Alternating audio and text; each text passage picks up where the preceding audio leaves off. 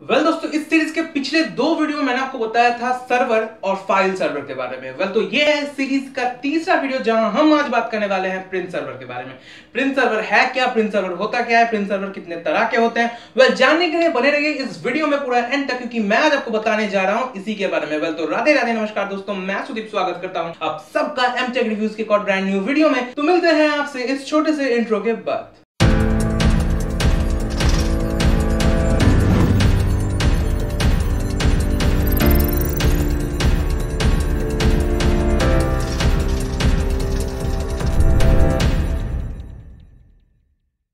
अब आते हैं सीधा क्वेश्चन पे।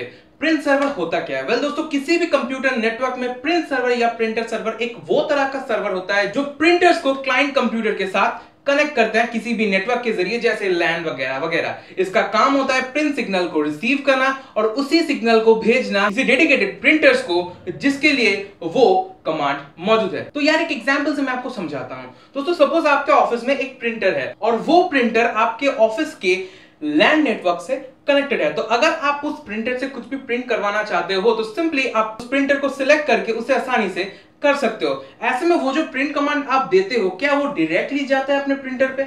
नहीं। तो यहाँ पे बीच में जो सारा कम्युनिकेशन होता है, वो होता है प्रिंट सर्वर की मदद से। दोस्तों, आपने जिस कमांड को भेज दिया, वो एक्सेप्ट करता है पहले हमारा प्रिंट सर्वर और वो प्रिंट सर्वर उस कमांड को भेज देता है उस डेडिकेटेड प्रिंटर को, जिसके बाद आपका डॉक्यूमेंट या फिर आपका डेटा आसानी से उस प्रिंटर के ज़रिए प्रिंट होता है। दोस्तों प्रिंट सर्वर बेसिकली होता है दो तरह के। सबसे पहला है इंटरनल प्रिंट सर्वर और दूसरा होता है external print server internal print server में जो प्रिंटिंग होता है, वो होता है वेललेस तरीके से। आपने बहुत सारे आजकल प्रिंटर्स को देखे होंगे कि जिनमें वेललेस का फीचर अवेलेबल है और जिसके ज़रिए आप वेललेस प्रिंटिंग आसानी से कर सकते हो। और एक्सटर्नल प्रिंट सर्वर में आपको मिल जाता है एक यूएसबी केबल जिसके ज़रिए आप आसानी से प्रिंटिंग कर सकते हो। और आजकल आपने बहुत सारे प्रिंटर्स को देखा होगा कि यूएसबी केबल की मदद से आजकल प्रिंटिंग होता है। तो दोस्तों आई होप कि आप समझ गए होंगे कि प्रिंट सर्वर होता क्या और प्रिंट सर्वर का काम क्या होता है। Well, दोस्तों आज के लिए बस इतना ही। होप कि वीडियो को पसंद आया। वीडियो को पसंद आया तो वीडियो को लाइक करना ना भूले।